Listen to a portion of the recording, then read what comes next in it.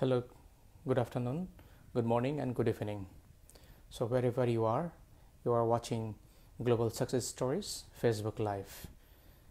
Welcome to the Global Success Stories. Today, I have a special guest, it's Claudia Vidal from USA. Welcome to all of you. Uh, can you also let me know whether my screen is does it look uh, is upright or it looks on another side? I'm not sure from this position. Give me a comments so that I, I would be able to understand. Yes, uh, my screen is how. Hi, Claudia. Hi, good morning and good evening. Good morning. Over there. How are you? I'm good. I'm good. How are you? I'm doing great. Thank you for having me here today. Thank you. So uh, I was wondering whether the screen is, uh, does it look okay to you or how it Yeah, looks? Okay. perfect. Yes, But, perfect. but How about my screen? yeah, what happened actually, the screen sharing did not happen. I thought the, Okay, so it should have been half 50-50 of the screen. Uh, okay. so anyhow, uh, still it's happening, but you're, you, you look small uh, on the screen Okay. on me. I guess that's fine. I- I'm okay with that. Okay, okay. I'm sorry for it did not happen. So thank you for watching, and those who are just joining with me. I see a lot of a lot of people are joining right now. Hello, Sharia Bhai, and uh, Asli. How are you? I see uh, Debabrata Datto and Sanjay Basu. Welcome to Global Success Stories. If you are new today, today to this program, just let me tell you what this program is all about. Global Success Stories is all about bringing the successful stories, rather successful people from all over the world. And I am interviewing all the successful people one by one, and I wish to cover 100 countries by 2018. The reason I'm covering these successful people's life stories because to understand why they are successful, how they are successful, what they are doing it differently, what are they take, what are the actions they're taking differently, why we can't be so successful as like them. And I believe that with these successful stories, there is something to be inspiring. And I believe I am inspired personally by watching, by talking, and by understanding the successful people's life. And I hope and believe that all of you, those are watching, you would get something out of their life. And I am, I'm, I'm sure that that will help you to realize your potential and your dream. Every one of you, you have a greatness within you and you can be great as well you just need to believe in them believe in yourself so i'm, I'm sure with these successful stories that i'm bringing across the world it will help you to understand who you are and what is your purpose of life and what you are doing are you really justifying your potentials your talent? My whole mission and objective is to help you to inspire who you are and what you can be. I'm sure that you have potentials 100 times better than what you're today. I'm sure you already all of you are successful on, to some to some extent but also i'm sure that you have 100 times more scope in your life that you can be more successful more impactful and you can contribute to the whole growth of humanity. That's what the potential is. Without further delay let me introduce my wonderful guest who is waiting there claudia vidal. Claudia is an author consultant and at the same time she is pursuing a postgraduate certification in holistic integrative psychotherapy. And she is currently on a mission to help individuals gracefully walk through the journey of enough. And today we are going to listen from Claudia what is her journey, what is her mission, why she is taking, taking this mission on earth, what is the reason behind it, what's really inspired. Claudia, welcome to Global Success Stories.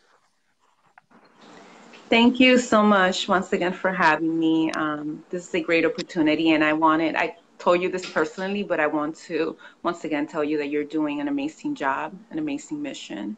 And I do believe that you will hit the goal, probably exceed it. You're going to have more than 100 um, success stories. So I just want to say thank you for doing this because I am one that believes that we can create change one person at a time. Um, most people tell you no, um, the world is the way it is. There's nothing you can do. Uh, I don't believe in that. The biggest transformations that have occurred through history, it was because one mind, one mind mm. decided to uh, take action, and then it created a mastermind of wonderful minds. And then you had, you know, a collaboration, a community, and um, just wanted to take a second to thank you for doing this. Uh, and yes, um, you introduced me well. I, I, am an author. I'm a consultant. I am um, a little bit of everything. I consider myself yeah. a multi. Please, yeah. please take it through. Who yeah. you are? Who is Claudia Vidal? So, who is Claudia yeah, Vidal? So besides besides the titles and and uh, the experience and everything else, I am a human being who is invested in helping others. When I see myself, I see myself as an empathetic person, super compassionate. I am Miss Sensitive who cries when she watches a movie. I am the person who can't sleep if someone is um, stressed out about something. I, I just connect with people at a human level.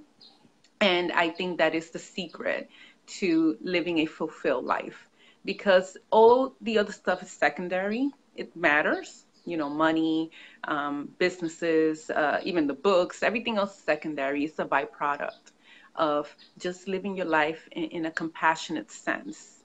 And um, that's who I am. I remember when I was in fifth grade, I was awarded uh, to be the peacemaker of the school. And at the time, I didn't know why. I, I took the award, but I, I didn't understand. And now, 21 years later, I understand why. And it was because my whole life, I've always been about bringing balance. It's always been about seeing the best in the worst situations. Um, I've learned to look at someone's eyes and see beyond everything that is labeled within that person per se. So beyond the bad, beyond the decisions, beyond I can see through their eyes and say this person has potential. And you said it perfectly. We are all we're all meant to do great things. And sometimes we get sidetracked. Sometimes we get have support system around us and we go through a lot of adversity and, and trauma and things that just doesn't help. And that makes us believe that we're not enough.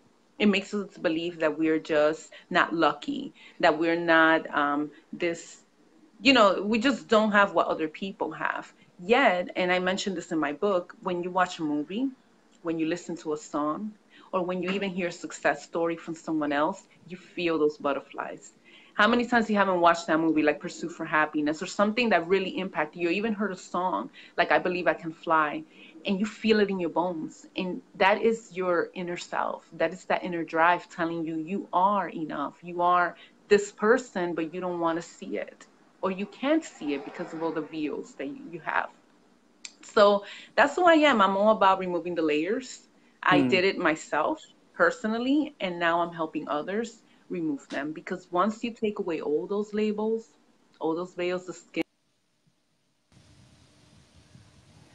Oops, uh, she's lost in the meantime. Let me see. Just wait a second. I can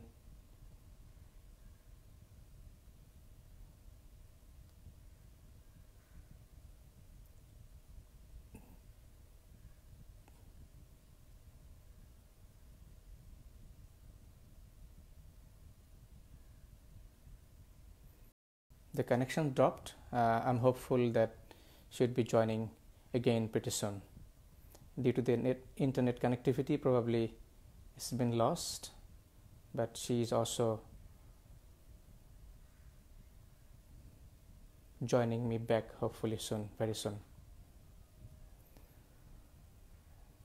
So as you are listening that uh, Claudia, okay, uh, I got her.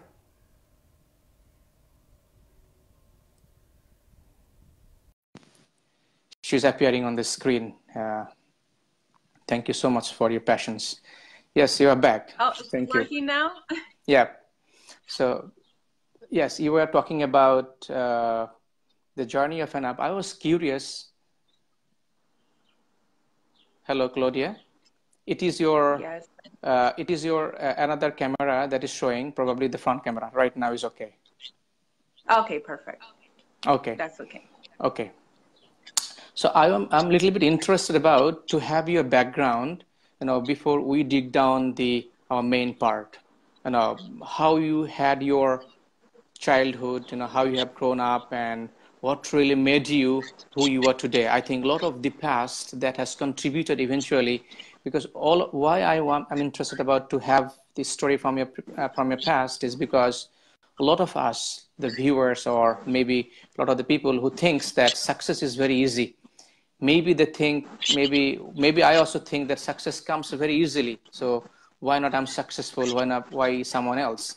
So would you mind to take through your journey from your childhood to now and what really motivated you, what really inspired you, what you have gone through, and why this journey of enough? Of course. So um, I I was born and raised in New York, and my mom migrated from Dominican Republic. So she didn't know English. She didn't have any money. Um, my father wasn't around at the time. He was very young, so he left uh, when she was pregnant and she had to figure it out. Um, she raised me not knowing where she was going to find the next diaper, where she was going to find the next can of milk. So complete poverty states, which people don't come to the U.S. and experience poverty, and that's what we went through. Um, she told me there was times she had to um, just skip meals for me when I was a baby. Um, she doesn't understand how I became a healthy baby because she didn't even give me the complete formula. She had to dilute it with like two times the amount of water just to make it last. Sometimes she left me with the same diaper for over 10 hours just to make it last. So we ate warm up food. She told me by the time I was eight months, I was already eating, eating um, heated up food uh, for three days just to keep going. So it was this poverty and, and this desperation and, and the fact that my dad wasn't around. And then she left her two kids my older brothers in the dominican republic back home and she couldn't bring them here. It was all those aspects that drove her to a mode of desperation. And what she did and how she channeled that energy was by becoming very angry towards her kids, especially me because I was the oldest of the girls. So I was constantly getting um, hit I was constantly getting yelled at. She was so consumed in her own world that she couldn't see past that. And and me coming home with a report card that said that I had an A wasn't enough. You know, it was like I don't have time for this. Go wash the dishes. That's that's how my childhood was. You know, so it you know I never got a hug. I never got a congrats. I'm so proud of you. And I was this little girl so excited that I used to get straight A's and that loved school. But yet I didn't get that feedback. And that's the only thing I ever wanted. And it didn't matter. I got it from the teachers. The teachers believe in me. I had some friends, some family members. The only thing I ever wanted was for my mom to look at me in the eye and say, I love you. I'm so proud of you. You are a great daughter. I never got that from her. So what that did was that because of the psychological and, and physical abuse as well, I got I went through a trauma where I just felt like I was a piece of nothing, believe it or not. I felt like I was this person that didn't deserve success, didn't deserve um, money, didn't deserve love. Um, and I thought I had to earn it.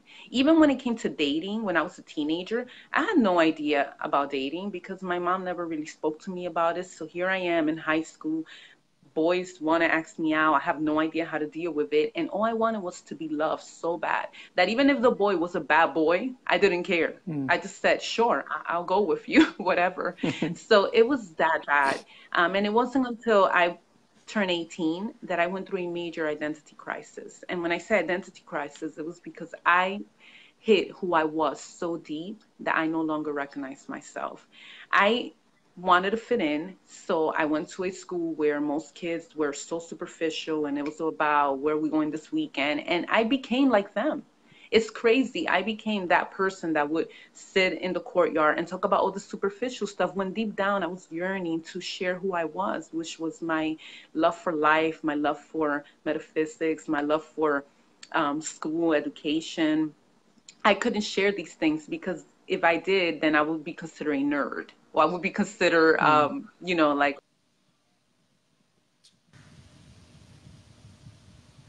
I'm sorry again. the connectivity has been lost this is what the